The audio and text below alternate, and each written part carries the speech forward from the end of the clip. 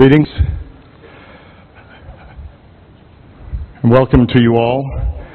Um, I'm Fred Kempe. I'm President and CEO of the Atlantic Council, and uh, before then, uh, Editor Associate Publisher of the Wall Street Journal Europe. Been watching China for many years. It's an honor for me not only to moderate this panel, but to moderate uh, six uh, individuals who can give us uh, a rich uh, insight, both from personal experience of the past, uh, of, of China's past, but also who have vested interest and, in many cases, uh, a real role in, in China's future.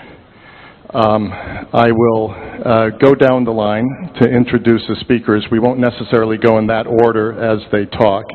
We've got a short one hour for a very big subject, so we'll try to go through this as efficiently as possible.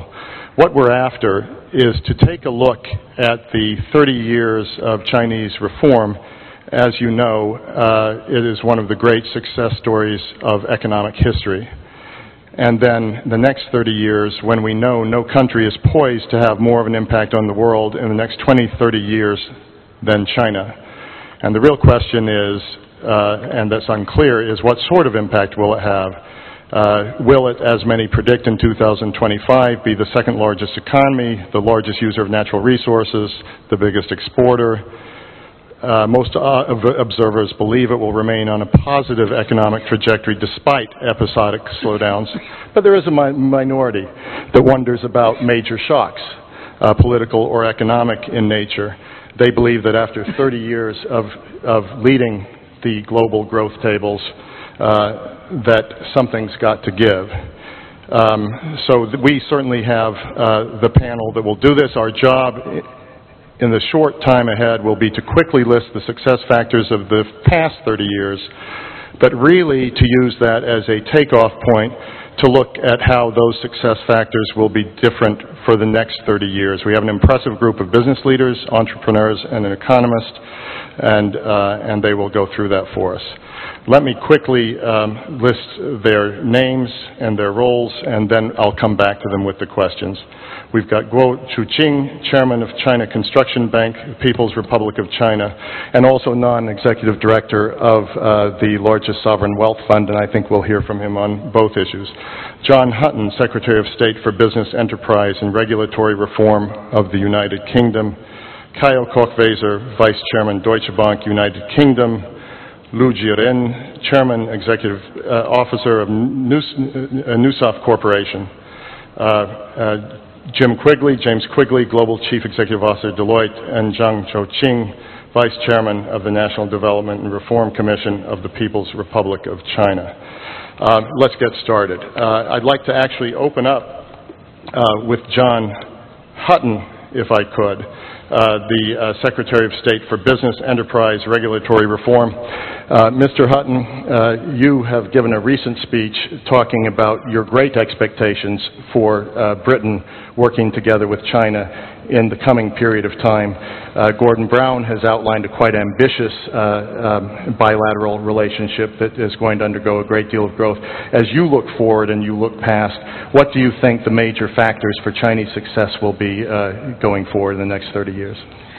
Well, I think the success, success factors going forward will be the same factors that have brought about this extraordinary transformation in the Chinese economy that we've all seen in the last 30 years. And those success factors will depend on maintaining a dynamic private sector, free and fair open markets, and a willingness to look out to the world and engage with the world. Now, obviously, these are all very difficult times for those of us who believe in openness and free and fair markets, but I think the evidence of the last 30 years, if we ever needed any new evidence about the importance of open markets and fair and, fair free markets is there for, for all to see. I think the danger, uh, two dangers, I think would be a retreat into protectionism in the world, and you can already see some signs of a rising fear of openness and free markets arising in many parts of the world, probably in every continent of the world. We've got to join forces to resist that because that will be the enemy of progress.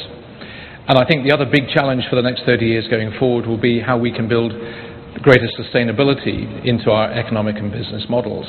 Because I think there's no doubt at all that the pressure on global energy resources, we just take that for a second, is going to continue to exert significant pressure and possibly constraints on the rate of progress and development that we all want to see in the world. So I think the evidence of the success of these policies is visible all around us here. You just need to walk out of this hall and, and drive around, and you see the, the, the benefits of, a, of an open market approach, a willingness to be part of this new global economy. And I personally believe there's, there's no going back from that now, but we, we have all got to be alert to the dangers, so there's no overreaction to the current problems in the financial markets. And we, um, we base our policies on the future maybe a controversial thing for a politician to say, but on the basis of, of what works, the evidence of what works. And I think what works is, is, is readily available for all of us to, uh, to work out for ourselves just by walking out of this hall, and taking a short walk across the, the main highway. Let, me ask you a very quick follow-up on that. Um, you have said, uh, and I think these are two very good points, openness of the economy and also sustainability of the economy. Perhaps drill down a little bit more on that. Uh, uh, you've talked about to succeed, truly succeed in today's global markets, all economic growth must be first and foremost sustainable. Uh, you've been talking about the increase of clean development mechanism projects, and, and, and the UK companies would be heavily involved in this. What is it? This is one of the biggest challenges for China, environmental. What is it specifically you think China has to do? One or two quick examples uh, to, to tackle this. Well, I think what China needs to do is, is what China is already doing. I mean, I think there's a, a very sophisticated appreciation in China about some of the energy challenges that the country faces and some of the global environmental changes that are underway that we've, we've got to work on. I mean, you mentioned, I think, the, the clean development mechanism. I think that's a very practical bit of financial engineering that will help us transfer resources to where they're most needed and where we can make the, the biggest economically efficient impact on reducing, for example, carbon and other pollutants being emitted into the atmosphere. I, I think we've got to work together on this. I mean, I, I know it's a cliche, politicians tend to trade in, in cliches, but there is, there is no one country that is going to be able to resolve these problems acting independently. And I think energy will be right at the heart of this huge global challenge in the next 30 years. It is the fundamental commodity that's going to drive not just economic progress, but social progress. And of course, the, the great the beneficiaries, if you like, of globalization have been the world's poorest people because the rate of progress out of world poverty has never been faster in, these, in this last 30 years as the world has become a more open, a more liberal, a more free trading environment. So I think the cooperation between countries is crucial. The relationship between the UK and China, particularly in areas like CDM, is very, very strong. I mean, and we will continue to use our technology, our resources, our expertise to support the incredible work that is being done in countries like China and around the world to help us reach this um, challenge on, on sustainability. Uh, thank, thank, you, uh, thank you, John Hutton. Zhao Chuqing, um, you have a role as Vice Chairman, National De- Development Reform Commission, but you also are non-executive director of the China Investment Corporation. Um, 200 billion US dollars of assets under management, which makes it the fourth largest sovereign wealth fund.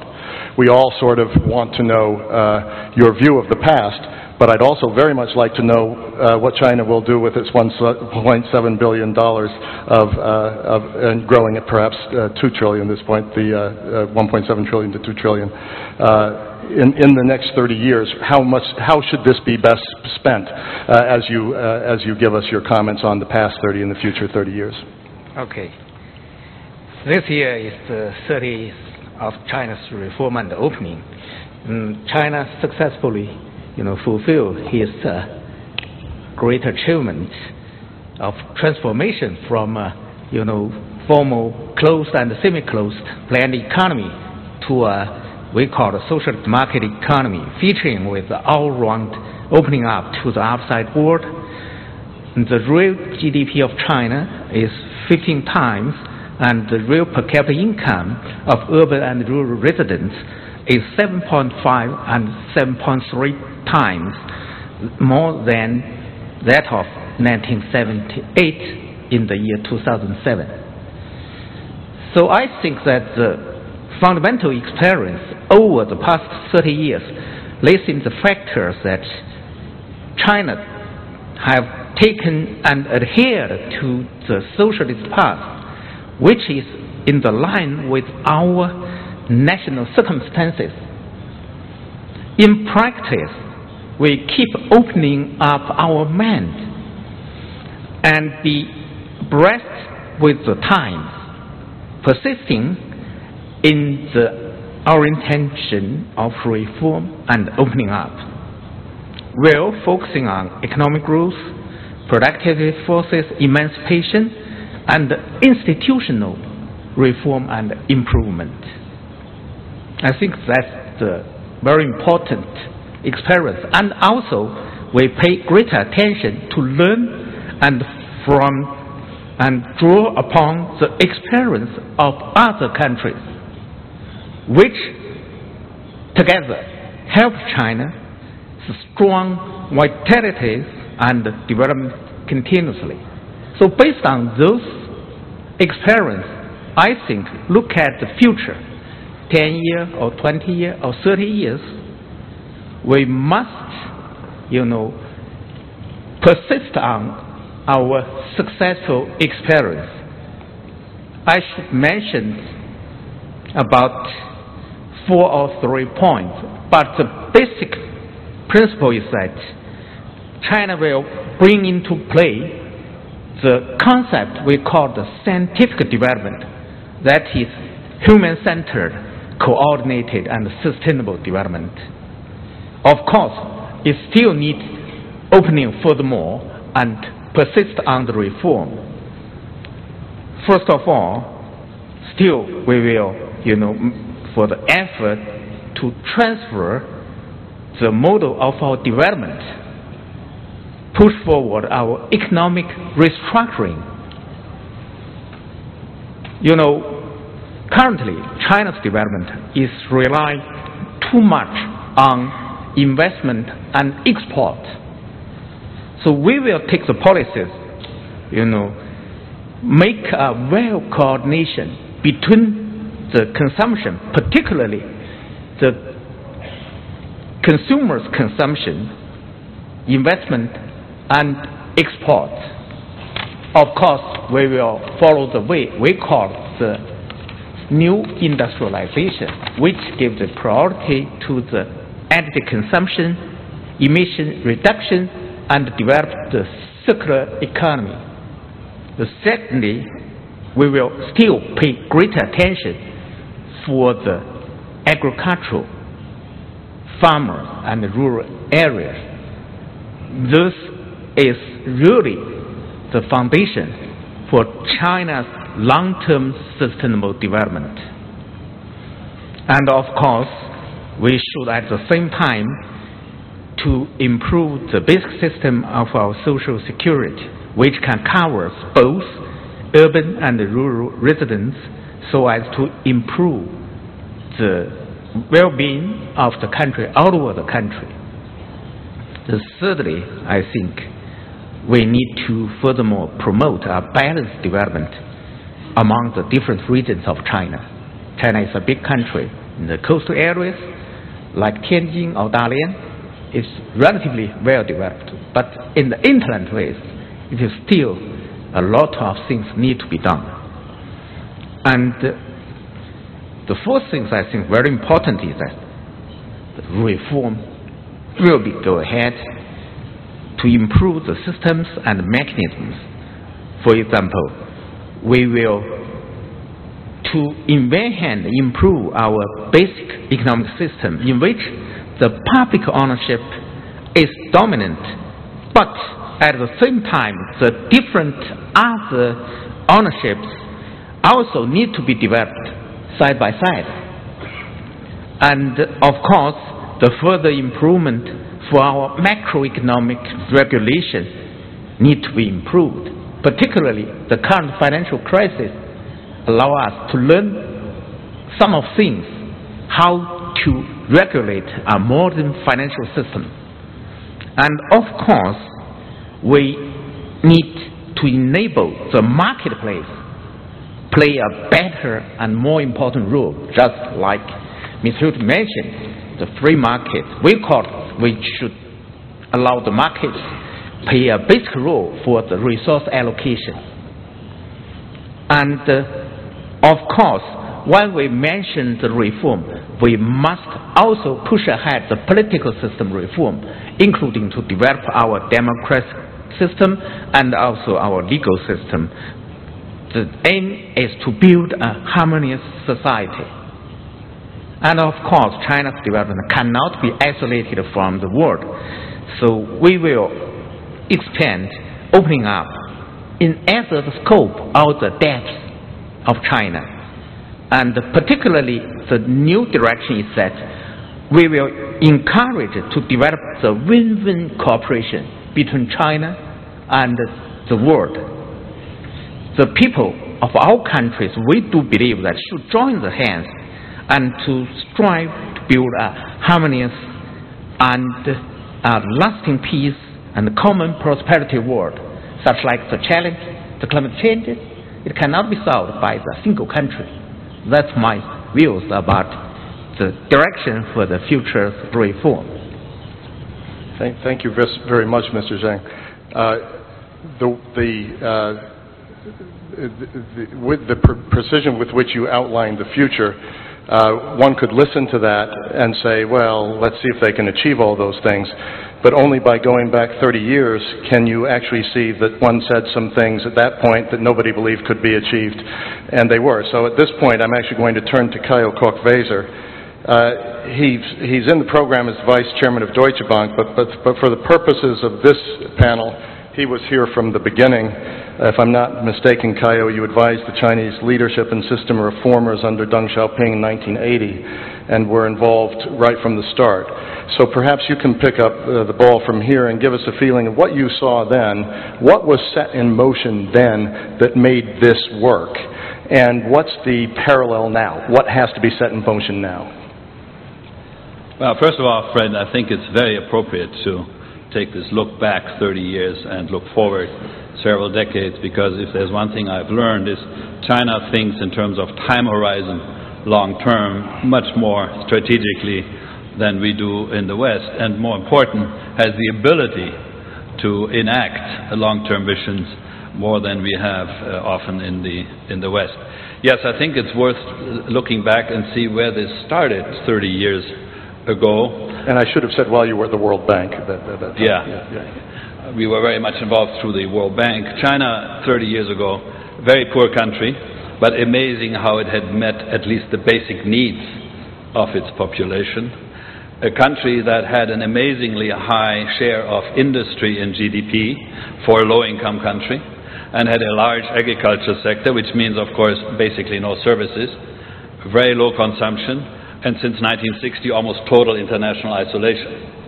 That was the starting point. Now comes the, the policies after 79 a very clear ambition formulated by the leadership of quadrupling uh, combined agriculture industrial output still under the old material balance uh, national accounts by 2000, quadrupling. Uh, of course, very high savings and investment rates uh, here, relying for innovation and, uh, and capital very much on uh, FDI and the openness, the export-led growth which brought with it then again a surprisingly sophisticated composition of exports for a still relatively low income country. And uh, all this with a reform approach, which I like to call very innovative experimentation, but always with caution. Feel the stones as you cross the river. Now, the miracle we all know uh, China has been the fastest growing economy in the world since 1978 and it is a miracle.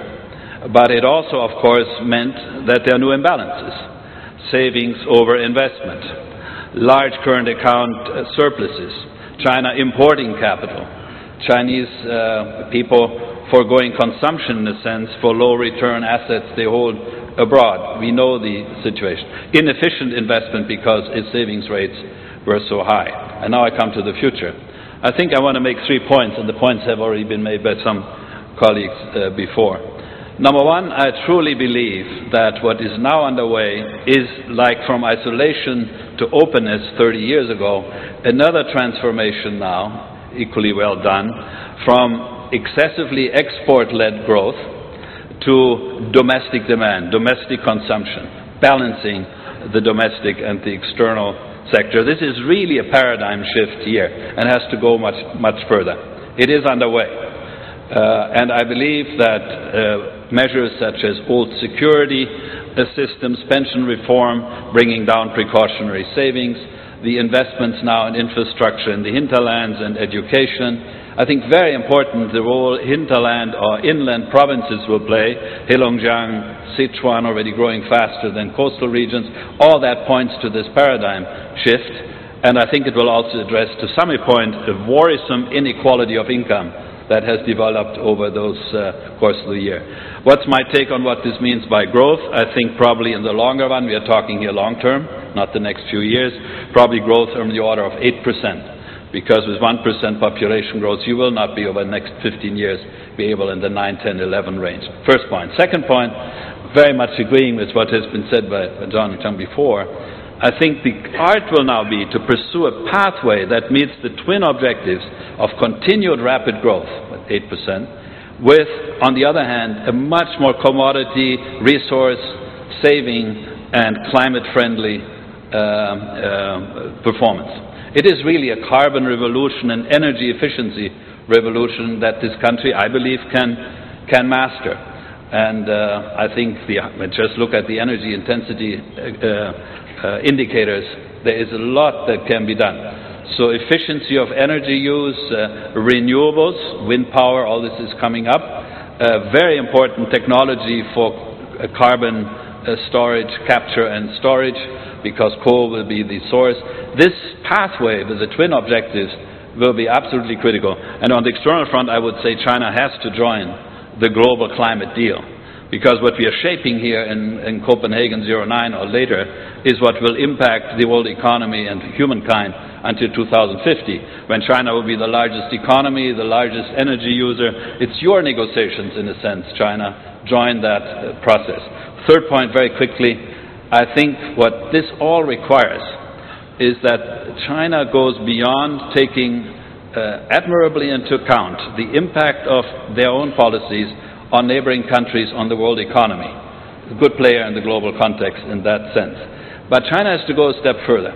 We will have a certain vacuum given the relative decline of American economic power. We will have on all the issues, short term, we now see international regulation, climate, all that, a need for leadership.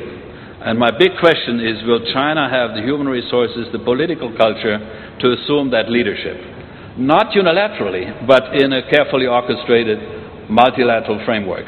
Does it have the people for that? Will it do that? That's my big question, actually, to all of us, because it's absolutely required to make the 30, next 30 years as much of a miracle as the last 30 years have been.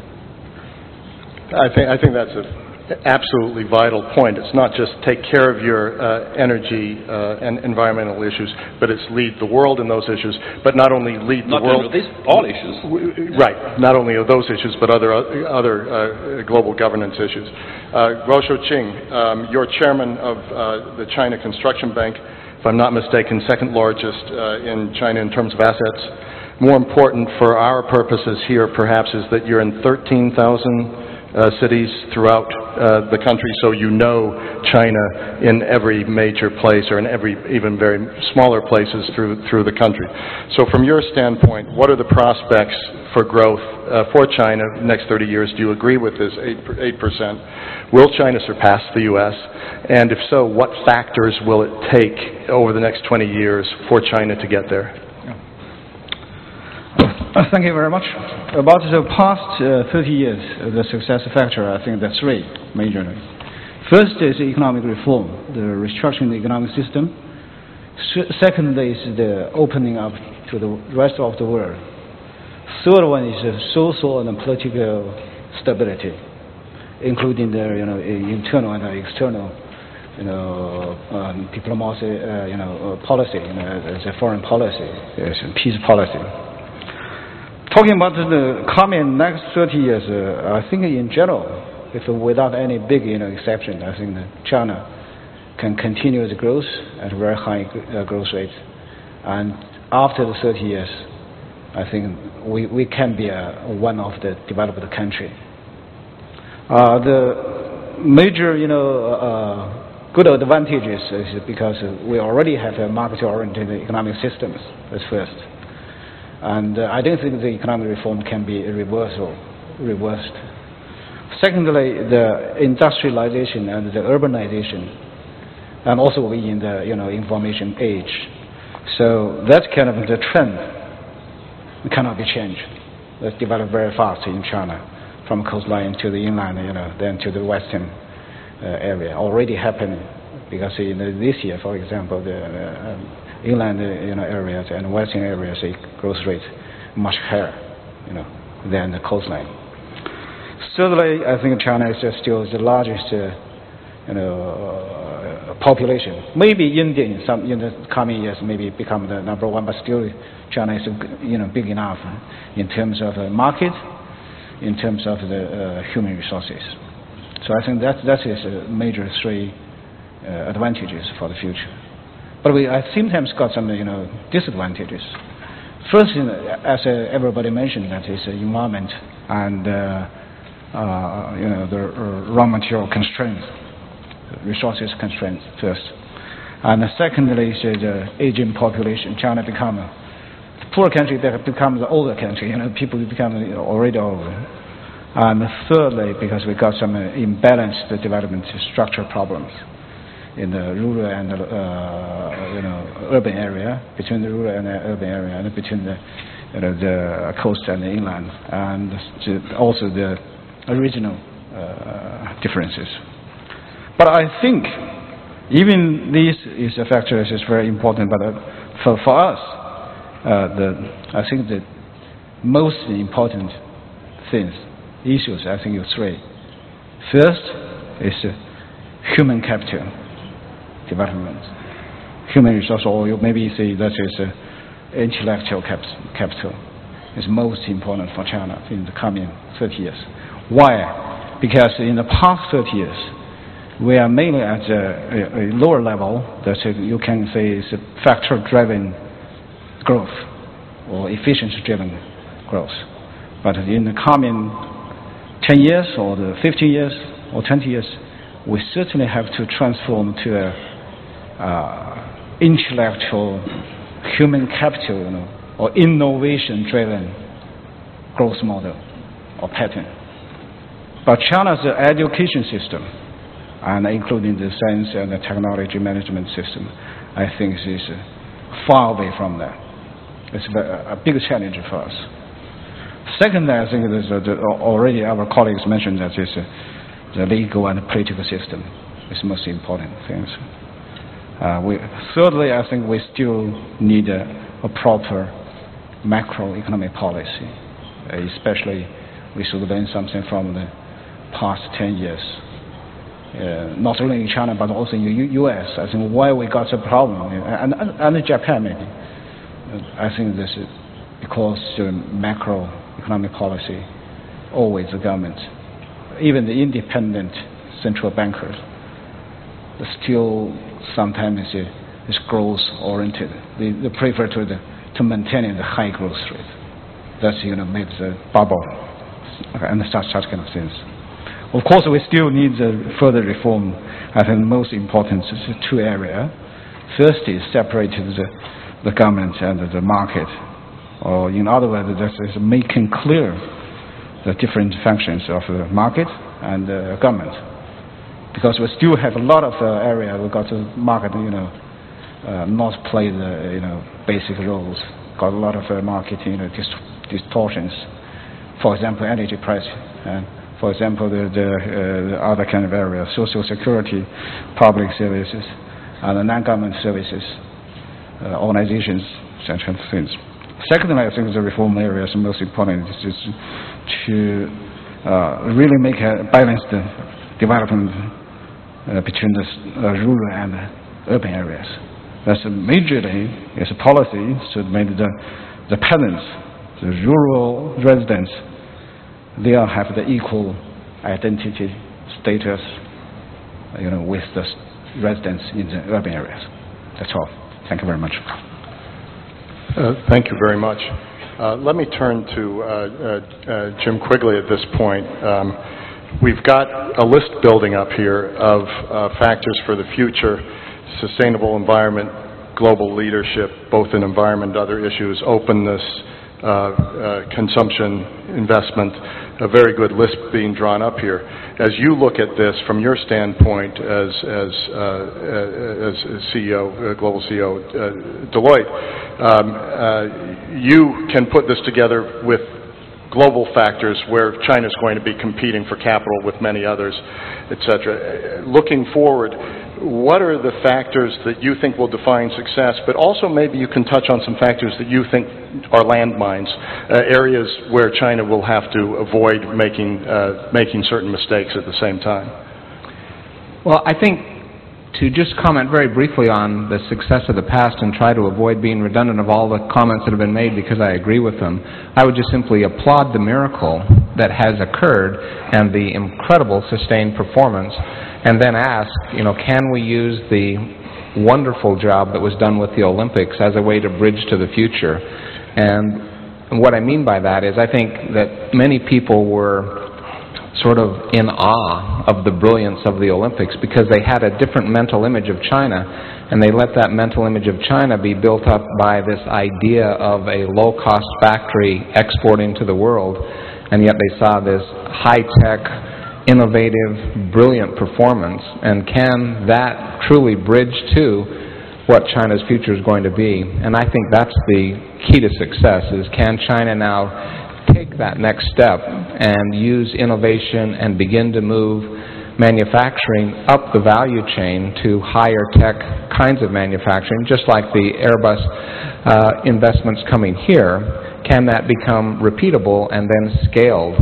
Because I think what's going to happen is getting to where we are is impressive, very impressive, but some of what brought us here isn't going to take us to that next level or keep us on that trajectory. And so I think this economy has to begin to transform to those higher value kinds of manufacturing in order to do that, as well as diversify, as has been pointed out, and build that consumer base while maintaining continued investment in infrastructure. And I think if we if China stumbles and is not able to take that next step, then I think there's a risk of plateauing rather than maintaining the trajectory that is currently enjoyed. And I believe that the degree of difficulty of staying on this trajectory for the next 30 years is actually going to be higher than the degree of difficulty of what's been accomplished. And I can even personalize that to Deloitte and say, I'm thrilled with Deloitte going from you know, 200 people in China to 8,000 people in China today. But as I aspire, even in the next five years, of getting to 15,000, I think the degree of difficulty of doing that is very high, perhaps even higher than getting to 8,000.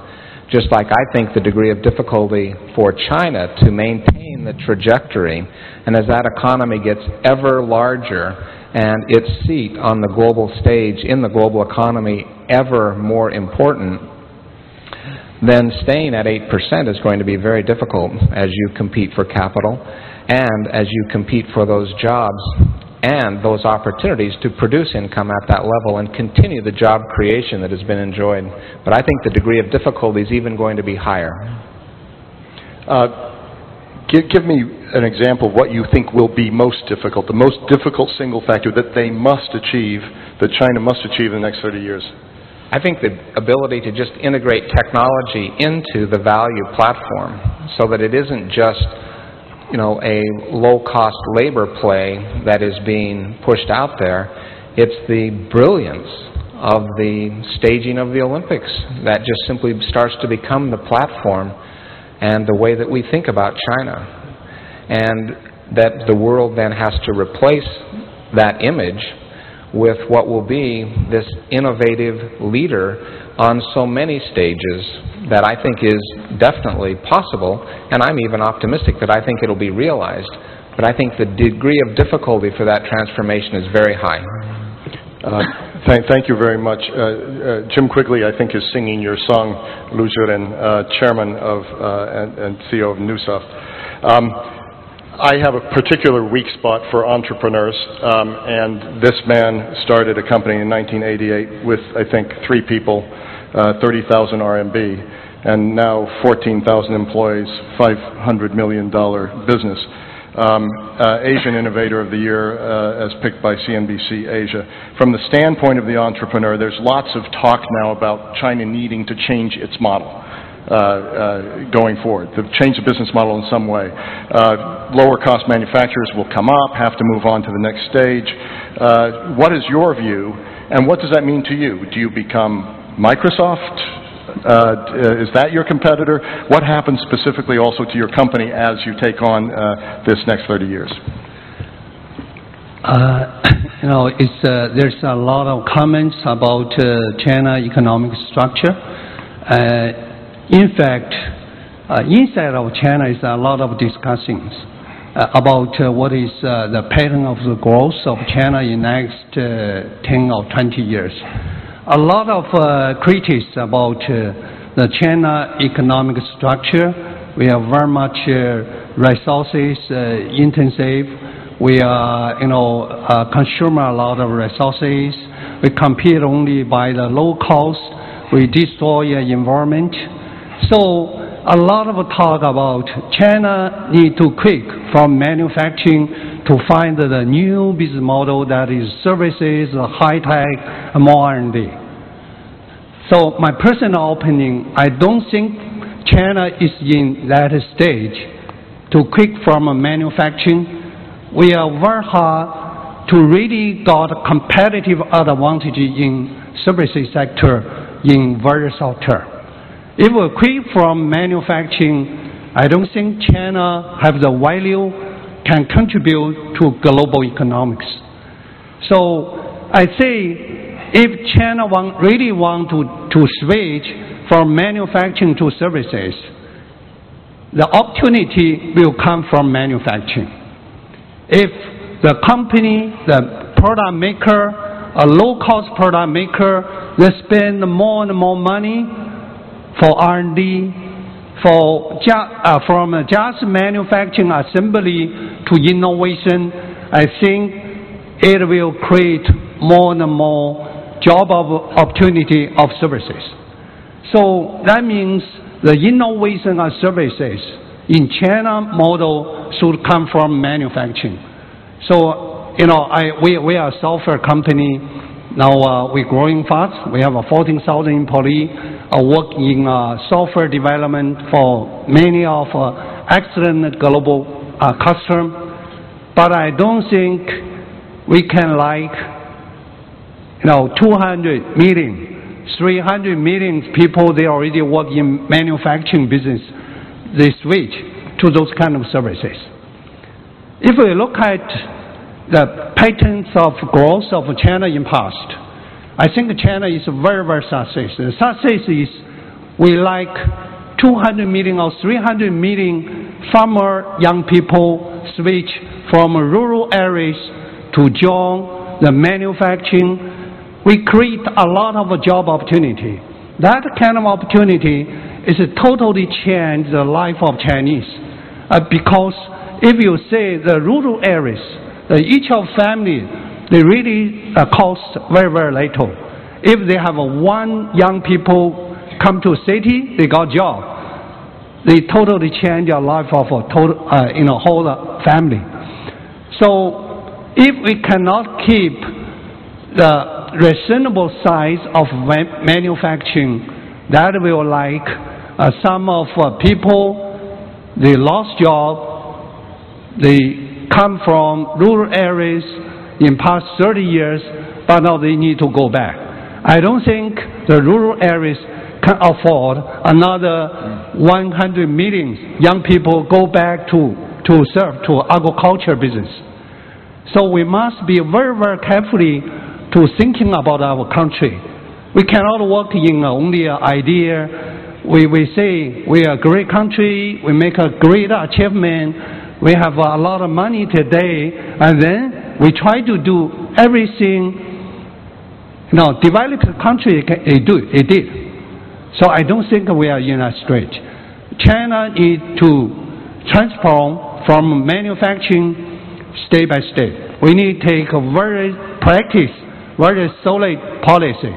I think in past, uh, uh, Mr. Deng Xiaoping is great. His great is because they don't take any kind of uh, theory, uh, ideas from outside. They really make a kind of uh, political decision just uh, based on Chinese situation.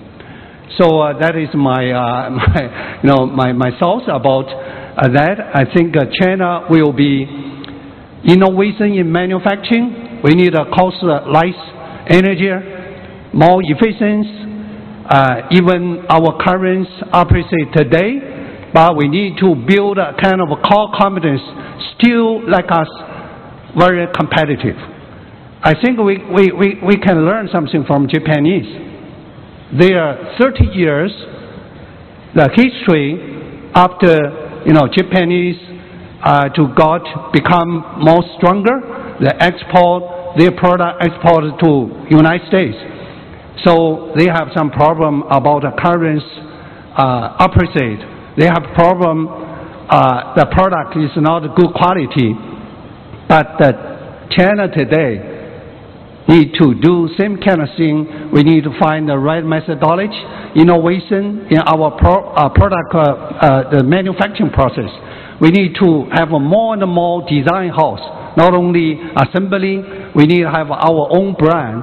Those kind of things, I think, is a change of China to drive the economic to to continue growing.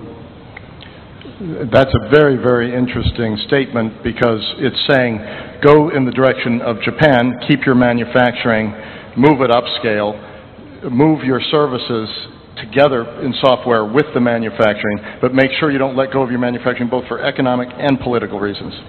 Yes, Yeah. if we say uh, Japan is a good uh, service sector, but the 30% of the services, the business, uh, the growing is come from manufacturing.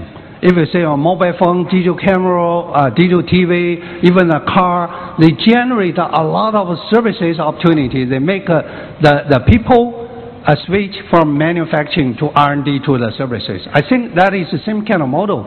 We need to think about those kind of models. It's not just separate the manufacturing with the services. Thank you very much. I see uh, first question there, and, and let's go to questions to the audience. Thank you. Uh, Question to the panelists. Uh, And, and if you could identify yourself and ask and say to whom you'd like to direct. I- I'm working with Goldman Sachs China. Uh, My question is, uh, for the the U.S. Congress, they are in uh, a great debate on the 700 billion US dollars bailout for the Wall Street, and they are quite concerned with using taxpayers' money to pay the bill. Here in China, a lot of discussions going on um, on whether the, the bill is going to paid not only by U.S. but uh, shared by the world. You know, uh, whether Chinese taxpayer will, will pay the, the bill because uh, our foreign ch- exchange reserve uh, made a lot of investment in U.S. Treasury bill. Could you make some comments on that? Uh, I think we'll go uh, perhaps to Mr. short. Uh, Mr. Zhang left right in the nick of time. The, uh, uh, the, who, want, who wants to handle this, um, this question? Mr. Mr. Guo, Caio? Um, I think part of the question also is, is the U.S. government bailing out the Chinese investor if you look at the amount of Chinese money that's in Fannie Mae and Freddie Mac. Um, but, um, May I say? Please, yeah. Okay, yeah. Uh, uh, uh, Not very clear about your question. wh- What is mean, do you mean by contribute to the, that uh, uh, rescue planning? But in terms of uh, China is the largest uh, foreign exchange reserve uh, holder and the largest capital exporter already uh, in the past uh, five years and probably this year or next year is the largest commodity exporter, exceeded Germany. Sorry about that. And I think certainly we already pay something because when you hold U.S. dollars as a major foreign exchange reserve, as a major foreign exchange you know, asset. All the banks, and including central bank, commercial banks, and some business enterprises already paid a lot.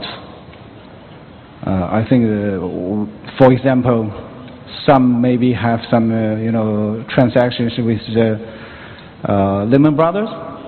When the Lehman fell, they really become, you know, uh, risk, big risk. They cannot get money back. Some institutions buy some, you know, uh, corporate bonds.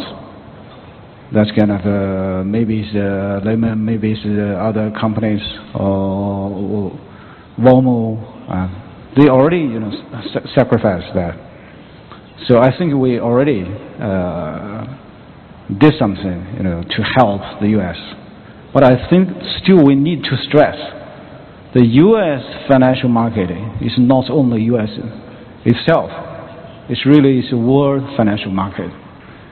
It's a, if the market improves, like our you know, leader, President Hu Jintao and Premier Wen Jiabao mentioned, that's a, it's good for the U.S., it's good for every country, of course including China.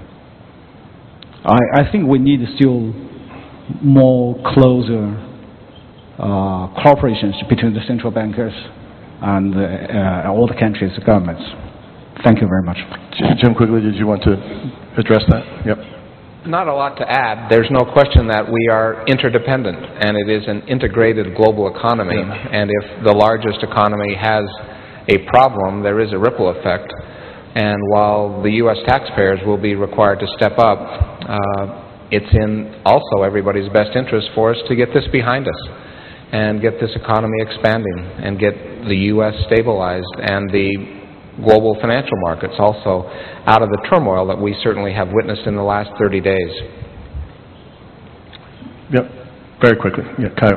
Only to say that I think the point some of us made of China shifting more to domestic demand to uh, balance export is very timely also in light of the recent turmoil without elaborating now. Secondly, that if that shift happens, obviously this savings, consumption, the current account surplus situation, not talking about tomorrow, but in the next five, ten years will be very different. And therefore, even institutions like uh, the sovereign wealth funds, which you alluded to, to my mind, is a temporary phenomenon uh, in terms of long-term perspective, because China is still relatively low-income country, should not be a major uh, capital uh, exporter. So I think these trends now fit the new global environment, which will be radically changed from the financial real economy side uh, very well. Final point on the real economy, I'm a bit concerned. I see that Chinese exports to the U.S. are highly sensitive to the rate of growth in the U.S. A 1% decline in U.S. growth, and we will have 0 or 0 to 1% growth, I believe, next year in the U.S means 7% decline in Chinese exports to the U.S. Now, China is diversifying its export markets and so on, but the real economy effect could be substantial. And, and Japan and Europe could slow down as well, which are the other two major export. Uh, no. well, just, just very briefly, if I can add to, to what has already been said, I think it's absolutely imperative that there is a deal struck soon. I think if the markets open again on Monday and there is no deal, I think it's going to be a very serious situation. So we've got to get this deal done. But I think that then there is an equally important issue about what we are going to do in the future. Because look, th this problem is a really fundamental structural problem in the way some of these markets have been inadequately regulated. And we've got to deal with that issue as we look for a solution to the current problem. And I think th there are two parts of this equation. There is the the deal that needs to be struck now to spread the risk of contagion, and the risk is a very real one, and, and I agree with what has been said in every capital market in the world. There's not just a problem in the US, as Jim and others have said, but we've really then got to turn our attention globally, as a global community, where everything is at risk because of this, this failure in the financial markets. We've got to turn our attention globally to getting a solution so that we can, as far as reasonably possible, there's always a risk here, you can't regulate your way out of every risk, but there's a better prospect in the future that we do not see a repeat of what has happened in the last 12 months because the consequences of that too, I think, would be would be pretty formidable and and dangerous and would threaten the economic uh, progress of, of, of the world economy. Let's go. I'm from Phoenix TV. May I use Chinese? Uh, Sure. 呃，大 I'm from Phoenix uh, TV. Uh, we are a partner to this uh, forum. I would like to ask a question to Mr. Guo Shuqing. Uh, when buying, uh, after buying the uh, stocks of uh, Construction Bank of China by Huijin, uh, what will be the impact on the equity structure of CBC, and uh, what what will be the effect on the market value value of the uh, uh, China uh, Chinese Construction Bank? So far, the the uh, amount of uh, stock purchase is very limited.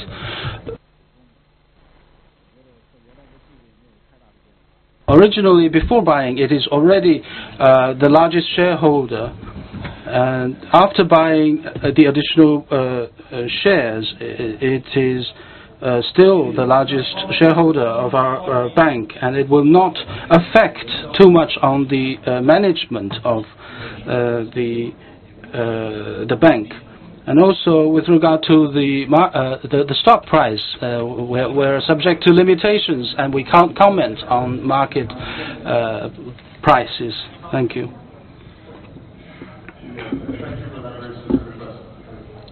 I, I work for Russian business magazine Expert in Hong Kong. I have a question for all the members of the panel. I'd like to ask you if you think that China is ready to export its economic miracle like, like overseas. What we've seen in 20th century, a competition between Soviet model of socialism and, and Western model. Uh, what we see now, especially in Africa, when China is investing a lot, China is uh, inviting students from Africa to study in China. So basically we see another competition between Western model and Chinese model. And I just wanted to ask you if you see China, like Beijing, becoming a new, in, in, a new intellectual center. Like will we see in the future uh, students like wanting to study economics, like coming not to Oxford and Harvard, but to Beijing University? Like, like this is happening or not? Thank you. Uh, Some people would say that the U.S. is going in an authoritarian capitalist model, but uh, we've- but we we- we won't we won't we won't go there. Um, The uh, uh, He asked everyone on the panel, but I think it'd be good if uh, uh, if we had one or two of you take it on since we have so many questions. Who wants to deal with this? Is China basically uh, and Russia coming up with an alternative economic model that may be attractive uh, to others and and in a in a way replace uh, the Western model that's been uh, that's been accepted. Please. So, uh, uh, I don't know, you know, you know, I'm a businessman, I, I don't know what, what is mean, really means uh, China model and the West model. Just I can use uh, Mr. Deng Xiaoping's word is, I don't care about white cat and uh, black cat, if you can catch a mouse, it's a good cat. So uh, that means uh, the, you know the world is changed a lot.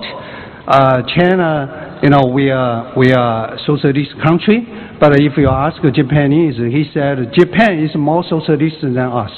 The Japanese say China is a capitalist country. Right now, the U.S. is the most, uh, you know, socialist uh, country. Yeah, I- I think uh, financial socialism. Yeah. The world is changed a lot. Yeah, you uh, see 80% is uh, held by the government. Yeah, uh, yeah. Sunny from uh, is uh, 100% owned by the government. It's very hard to say uh, that the model is uh, it's very much very much uh, fusion, the, even the culture, technology. We we uh, we come to small village. The people to learn each other. And if you look at Japan, they learn a lot from United States. If you you see the China, they learn from all of them. But in future, if we, if you see uh, some country like uh, Vietnam, they also learn something from China. So uh, I say uh, we uh, for Chinese, uh, we have a challenge. We really need to understand a culture of Western uh, world is because uh, China is too close in past, and we just open uh, the really the, the period uh, like us to to to understand the Western world is just the past uh, 10 years. And even we, we, we open our door for 30 years, but another 20 years, I don't think it is really open. So uh, I say the future uh, maybe, uh, I don't know whether we can unify. I don't think we can unify, but it's a colorful culture, colorful business model. The people will have their own choice. So I, I just say that, that the movie today is uh, uh, one of England cocker to run the Chinese restaurant. It's in London. It's really a surprise for me.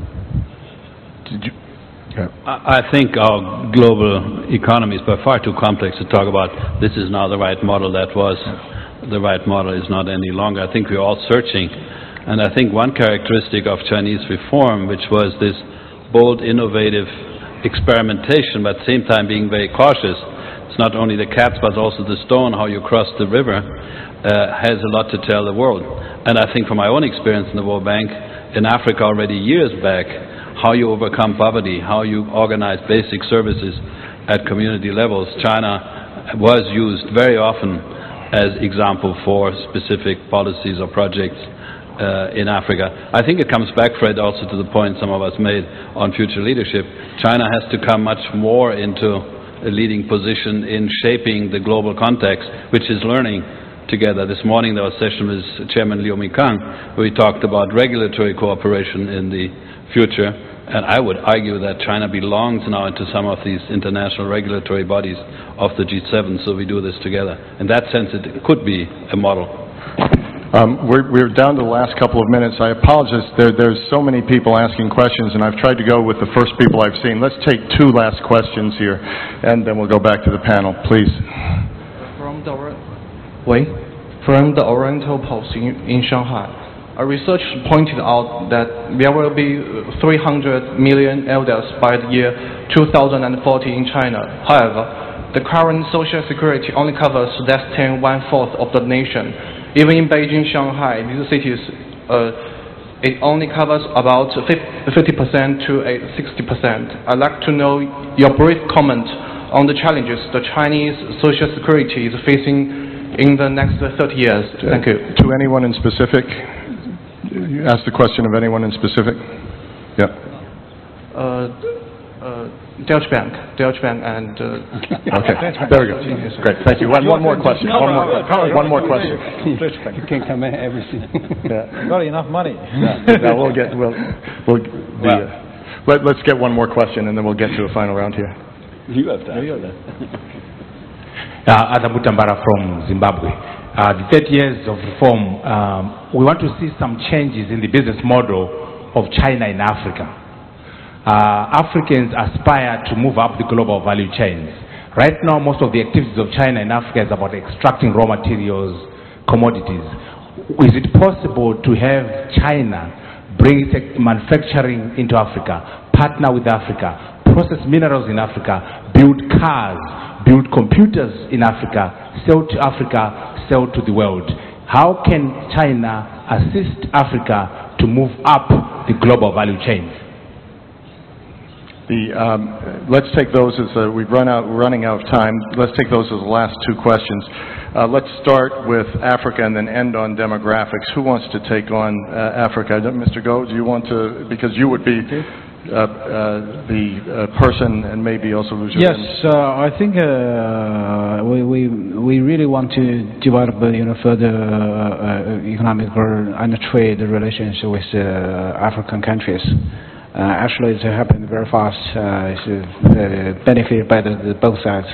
It's very good, and uh, I think we can, you know, invest more, much more, in Africa and other, you know, developing countries. Because at the moment we have uh, two trillion U.S. dollars mainly in the foreign exchange reserve in the currency, you know, uh, financial assets. I think at least a certain proportion should be changed into the uh, FDI you know, or uh, to the uh, including uh, you know African countries, you know, the, such kind of as a investment, you know, countries target, and uh, uh, it's quite likely to you know to build some know, joint ventures to uh, in the manufacture and also the services uh, industries. That need we, we, we should you know the both sides you know governmental and uh, intellectual, you know, and also the entrepreneurs, uh, corporations. I think this is, very, very important. Uh, yes, I think uh, should be uh, because Africa is an emerging market and all people want to come in. But if you, you look at the, the experience of China, when we just open our door, we have same kind of uh, situation. We want to attract all the investment come to us to make uh, build their development, uh, you know, manufacturing center here. But it's not so easy because the people in very beginning is not trust you.